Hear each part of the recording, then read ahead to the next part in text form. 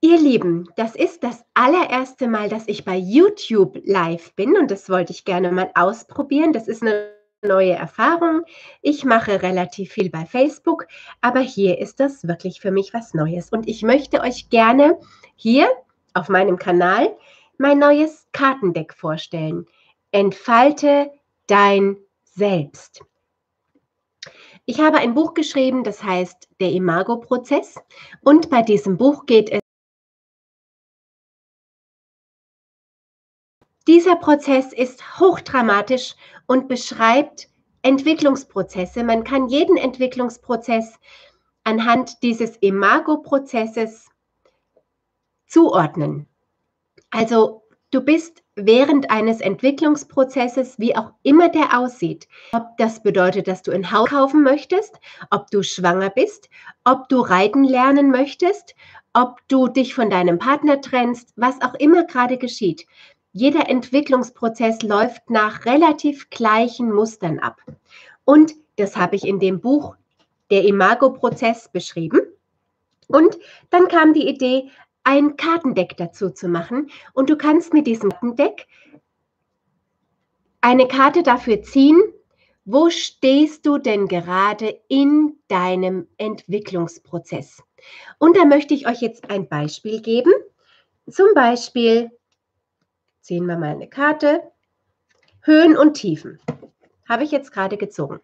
Wer weiß, vielleicht trifft es gerade auf den ein oder anderen zu.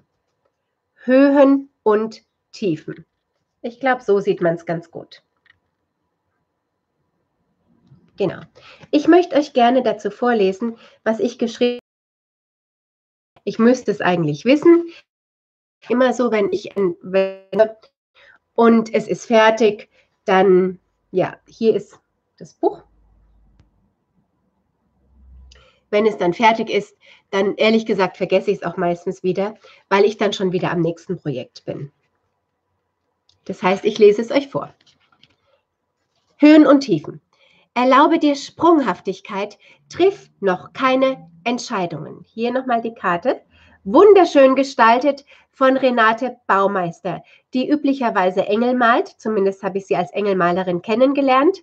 Hier hat sie sich auf Schmetterlinge und wunderschöne Landschaftsbilder eingelassen und ich bin ganz begeistert davon. Gib dir heute, was du brauchst und suche nicht nach einer Strategie, diese Situation zu meistern. Sie kann morgen schon wieder anders sein, morgen oder sogar in fünf Minuten. An einem Tag freust du dich auf das Neue, das da kommen will, am nächsten fällst du in tiefe Selbstzweifel und verlierst jede Hoffnung.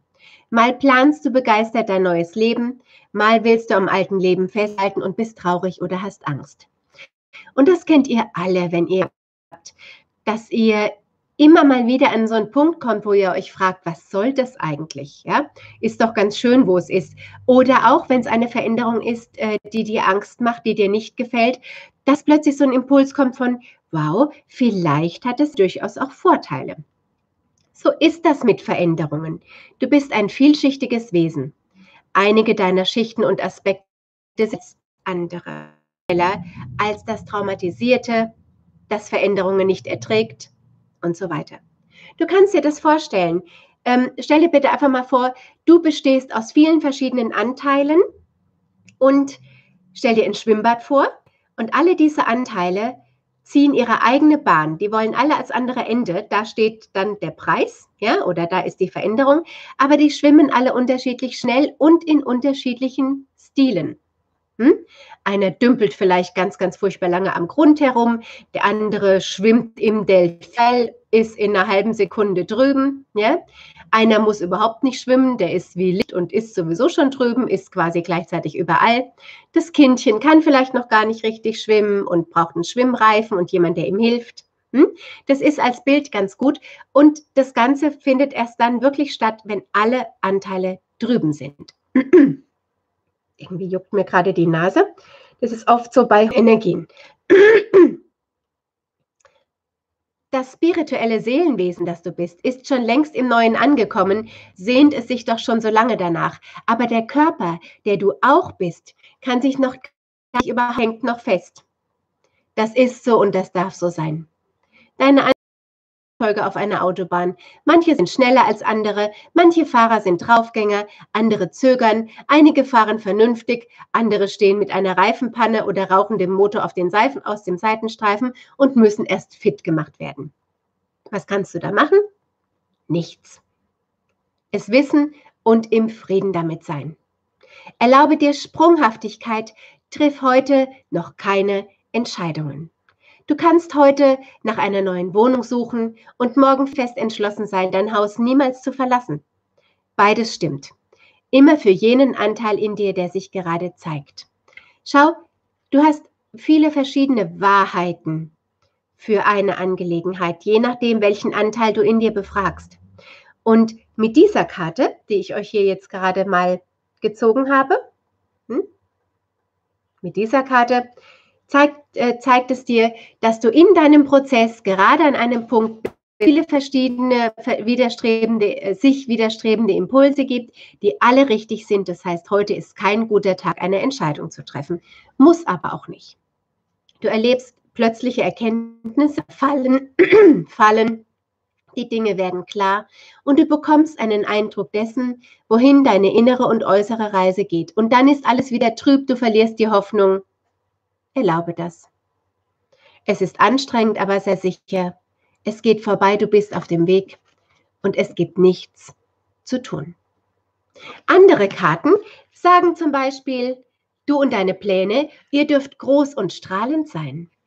Eine andere Karte sagt, du darfst die Lasten, die du für andere trägst, an gute Kräfte weitergeben. Denn stell dir bitte vor, du bist irgendwie angekommen an einem Punkt in deinem Prozess, wo du merkst, jetzt würde ich gerne rausgehen, erfolgreich werden, glücklich werden oder irgendetwas Tolles machen. Und du merkst, wow, ich kann gar nicht, ich bin irgendwie viel zu schwer. Das gehört auch zum Prozess. Und wenn du diese Karte dazu ziehen würdest, würde ich dir hier genau sagen, was du machen kannst, damit es aufhört. Also, entfalte dein Selbst. Ist ein Kartendeck.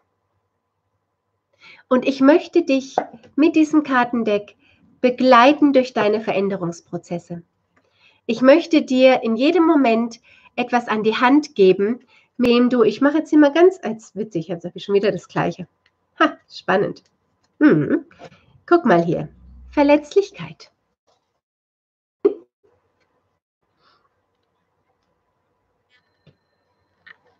Verletzlichkeit.